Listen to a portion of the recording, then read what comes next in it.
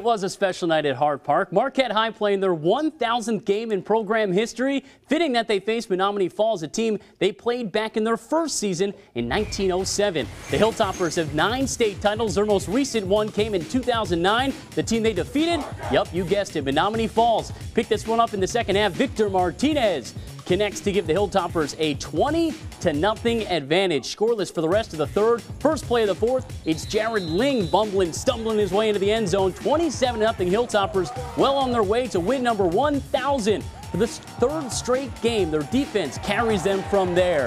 Just how good has Marquette's defense been? They haven't allowed a point in three straight games against teams from Wisconsin. Marquette wins number 701 in their 1,000th game. Another shutout win on a special night for the program.